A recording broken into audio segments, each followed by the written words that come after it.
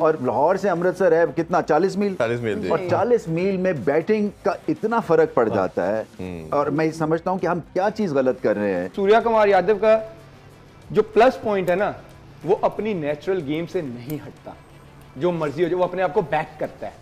कि उसके जोन में जो बॉल होती है ना वो मारता है उसी इतनी भी शॉटें मारता है वो ज़्यादातर अच्छी बॉलों पे भी शॉट मार देता है क्योंकि उस चीज़ की उसने प्रैक्टिस की है उसको पता है कि मुझे मैच में ये बॉलें भी आनी है तो मुझे Yeah, that's very important. मेरे ख्याल में he's a future uh, superstar, in fact, of the world cricket. कि शम्बिन गिल जो है वो मेरी लिस्ट में मेरी लिस्ट में ये one of the best player in world cricket की तरफ़ चल पड़ा है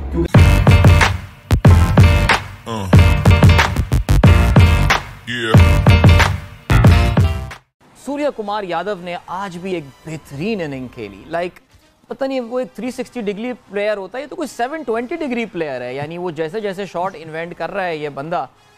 सूर्य कुमार यादव ने आज भी एक बेहतरीन सूर्य कुमार यादव की बात की। Adeel this is what we say domestic domestic domestic उन्होंने डोमेस्टिक में 233 टी ट्वेंटी खेले हुए हैं। ही इज़ एक्सपीरियंस उन्होंने डोमेस्टिक में खुद को पॉलिश किया हुआ है प्रॉपर्ली बॉलर कहीं भी बॉल करता है वो कहीं से कहीं अपना शॉट बना लेते हैं।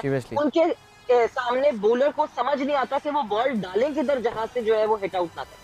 अच्छा पता है ये ये लाला बड़ी इंपॉर्टेंट पॉइंट है बिकॉज़ सूर्य कुमार जिन्होंने बात बताई कि वो इतना फ्लेक्सिबल प्लेयर है क्या है मुझे नहीं पता। वो हर जगह की बॉल को कहीं पे भी प्लेस कर सकता है। एक बार रिजवान से हमारे हुजैफा हमारे कॉरस्पॉन्डेंट होते हैं उन्होंने एक बार ये सवाल पूछा था कि रिजवान आप बहुत लेग साइड के प्लेयर हैं आपको तो बहुत जल्दी टीमें आप पे होमवर्क तो रिजवान ने कहा था यार मैं तो ऐसे ही खेलता हूँ और मुझे तो काश हमारे पास वो क्लिप होता मैं आपको वो सुनवा भी देता। लेकिन यही फ्लेक्सिबिलिटी रिजवान को अपने गेम में लानी पड़ेगी। अदरवाइज़ तो आ, आ, कहते ना जी आ, मेरे मुँह हो में जाते हो आप, हाँ, बिल्कुल मैं ये बोलना चाह रहा हूँ कि वो तो पकड़ लेगा खत्म हो जाएगा करियर उसका अगर यही वाला सिलसिला देखिए सबसे इम्पोर्टेंट चीज़ जो अभी सवेरा ने कही है कि 200 सवा 200 जी। 250 मैचेस खेल के उसके बाद वो इंडिया टीम में आया और खेल रहा है। Right. देखिए एक तो ये है कि उस उस लड़के को अपनी गेम का पता है। राइट उसने जितनी भी शॉटें मारता है वो ज़्यादातर अच्छी बॉलों पे भी शॉट मार देता है क्योंकि उस चीज़ की उसने प्रैक्टिस की है। उसको पता है कि मुझे मैच में ये बॉलें भी आनी है तो मुझे शॉट जितना आप अपने गेम के अंदर निखार जितनी स्किल आपके पास होंगी। आप उतने अच्छे इम्पैक्ट वाले प्लेयर होंगे। तो आपको तो डेवलप करने पड़ेंगे शॉट ये तो वो फॉर्मेट है जिसके अंदर उल्टा भी छक्का मारना है सीधा भी छक्का मारना सही है। है तो जितने आपके पास शॉट्स होंगे उतना रन आपके पास जो है ना वो इजी आना शुरू हो जाएँगे। बिल्कुल। लाला शुभमन गिल की इनिंग्स के हवाले से जाना चाहेंगे। आपने शुरू में कहा कि एक ऐसा लेजेंड है जो अभी एक उस तरफ़ जाएगा रोल मॉडल बनने के लिए जो दुनिया देखेगी। और इसने प्रूव किया हर इनिंग्स में वो बेहतरीन से बेहतरीन होता चला जा रहा है। और ये भारत की गुड लक कहना चाहिए उनका सिस्टम की बात करें उनका इंफ्रास्ट्रक्चर की बात करें ऐसे बेहतरीन बैटर प्रोड्यूस करते चले जा रहे हैं। कैसे देखते हैं इस इनिंग्स को? जो इरफान बैट्समैन होता है जिस जिसमें एक नेचुरल टैलेंट एबिलिटी होती है वो ऐसे लगता है जैसे उसके पास एक्स्ट्रा टाइम है। आप रोहित शर्मा को देख लें इवन विराट कोहली को देख लें आप बाबर आज़म को देख लें ये ऐसे प्लेयर्स हैं जो कि आपको पता चलता है कि ये बाकी जो है वो रश्ड होते हैं ये नहीं होते हैं। ऐसे ही तो ये जो शुभमन गिल है ना तो पहले तो ये इसमें वो लेजी एलिगेंस आप कह लें या ये क्लासिकल बैटिंग करते हैं। और क्लासिकल बैटिंग में ये छक्का भी लगाते हैं ऐसे ही पक्की शॉट खेलते हैं। चौका भी मारते हैं सिंगल्स भी और टेम्परमेंटली स्ट्रांग है। सो जब इनको ओरिजिनल क्लासिकल इनिंग्स खेलनी अलॉन्ग द ग्राउंड ये आपको वो करके देंगे और मुश्किल पिच पे रन करने वाले हैं। आप देख रहे हैं रोहित शर्मा स्ट्रगल करते हैं मुश्किल पिच पे कभी बोल्ड हो जाते हैं कभी यू नो फोकस नहीं होता। ये उस, उनकी परफेक्ट रिप्लेसमेंट है। और मुझे ऐसा लगता है ये सब रिकॉर्ड तोड़ देंगे। अभी बाबर आज़म के बिल्कुल करीब आ गए हैं as the world's best in ODI cricket में हल शायद इस सेंचुरी के बाद नंबर वन ना हो गया तो इनके में पोटेंशियल बहुत है और मैं फ्रस्ट्रेट भी होता हूँ क्योंकि ये है अमृतसर से। और लाहौर से अमृतसर है कितना? 40 मील। 40 मील, और 40 मील में बैटिंग का इतना फ़र्क पड़ जाता है। और मैं समझता हूँ कि हम क्या चीज़ गलत कर रहे हैं। कि हम ऐसे यंग टैलेंट और जीनियस प्रोड्यूस नहीं कर रहे बल्ले के साथ। और जैसे सूर्य कुमार यादव टी ट्वेंटी में नंबर वन रैंक पे है ये ओडीआई में नंबर सेकंड पे और है दूसरी तो चीज़ before I forget I think आपने देखा कि बाकी टीम्स क्या खेल रहे हैं? ऑस्ट्रेलिया साउथ अफ्रीका हाँ, उस तरह मैंने लगा था जी। मतलब है एक और ही तर्ज की वो ओडीआई क्रिकेट खेल रहे हैं। सो इससे क्या पता चलता है कि सब कॉन्टिनेंट टीम तो शायद पाकिस्तान को टी ट्वेंटी के प्लेयर्स ओडीआई में डालने। क्योंकि इसकी जो रफ्तार है ना वो आपको पिक करनी ही। और उसकी रफ्तार अगर पिक करनी है तो फिर आपको तलंगे चाहिए जो कि लाठी चार्ज करें जो कि बदतमीजी करें। की तरह। हाँ, बिल्कुल जो कि आपके ना plans A B C D सब डिस्ट्रॉय करते हैं ऑन द डे फिर ऐसे ही आपको खेलना पड़ेगा क्योंकि अगले ऐसे सोच रहे हैं। सो आपको ऐसे सोच के और आउट ऑफ़ द बॉक्स सोचना है मैं ये बहुत ये ओवर यूज़ वर्ड है बट ये पाकिस्तान को करना 90 रन इन टी कोई प्रेशर नहीं होता। और फिर आपका जो मेन रीजन था वो ये था कि रन रेट बेटर करना है। आपका इंटेंट वो होना चाहिए।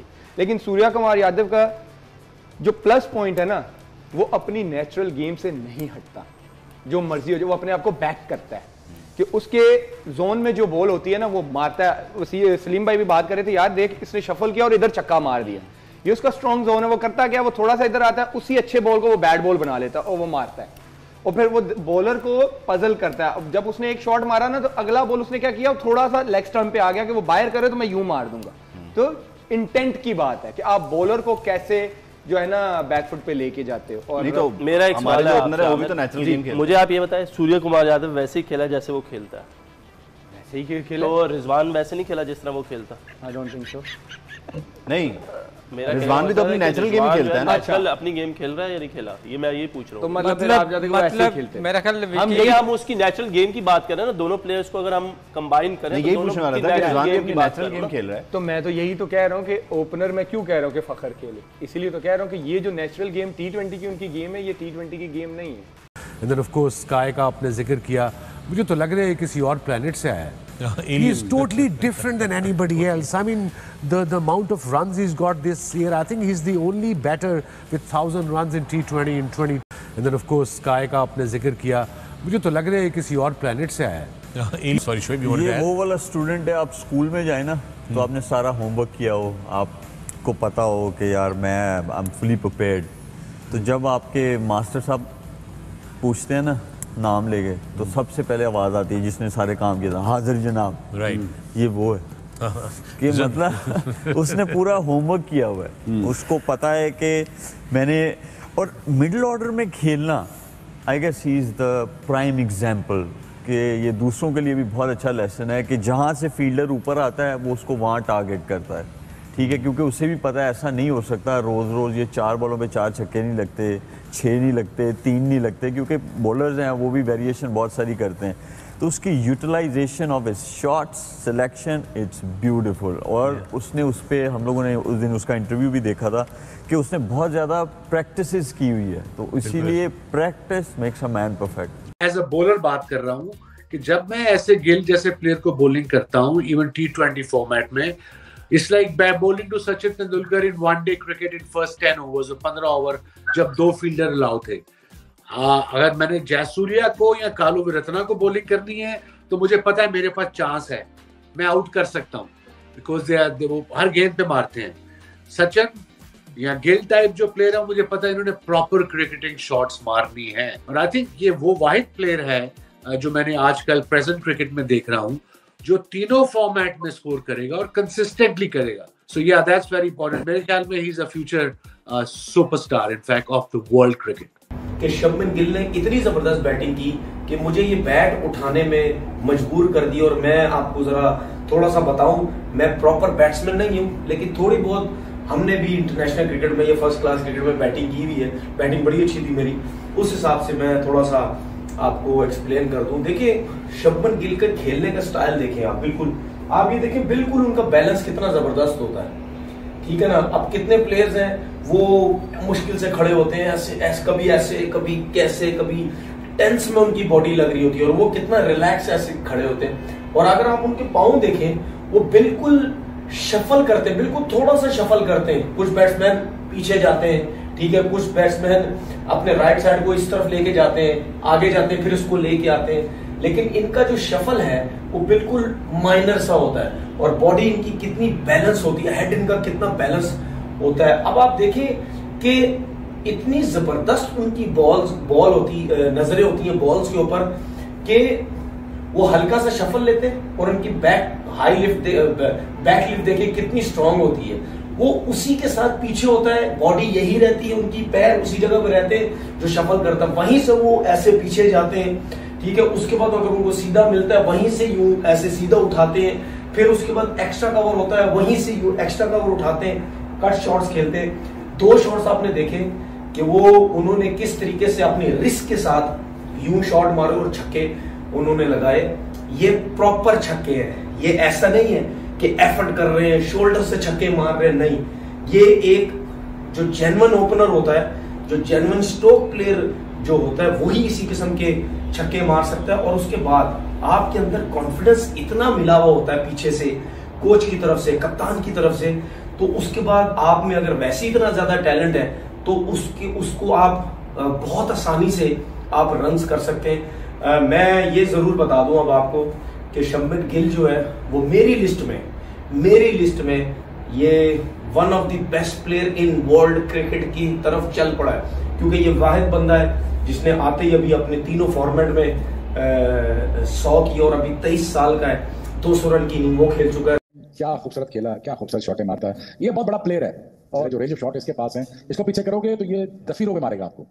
ये और बैट्समैन नहीं मार सकते सर पे खा जाते हैं ये मारता है पीछे पीछे। एक बंदे के बैटिंग करने के तरीके से भी पता चल जाता है कि उसके इंटेंट से पता चलता है कि कितना पॉजिटिव है। पूरी टीमों में मुझे इनके प्लेयरों की जो आ, जो पावर हिटिंग है मुझे इतनी पसंद है इनके बैलेंस क्या ज़बरदस्त बैलेंसेज है। फिर किस चीज़ की फ़िक्र है जी? ये तो वही लग रहा है जो एक दौर होता था वेस्ट इंडीज का या ऑस्ट्रेलिया का। तो हेलो दोस्तों कैसी लगी आपको ये वीडियो? अगर आपको ये वीडियो पसंद आई है तो इस वीडियो को लाइक शेयर सब्सक्राइब करना ना भूलें। जैसा कि हमने इस वीडियो में देखा कि कैसे जो पाकिस्तानी मीडिया है, जिसके अंदर जो वसीम अकरम और जो साइद अफरीदी है, वो सूर्य कुमार और शुभमन गिल की तारीफ़ कर रहे हैं। वो ये भी बता रहे हैं कैसे जो इंडिया की बैटिंग है, वो कितनी मज़बूत होती जा रही है और हम ऐसे क्या गलती कर रहे हैं कि हमारी जो बैटिंग है, वो इतनी मज़बूत नहीं है।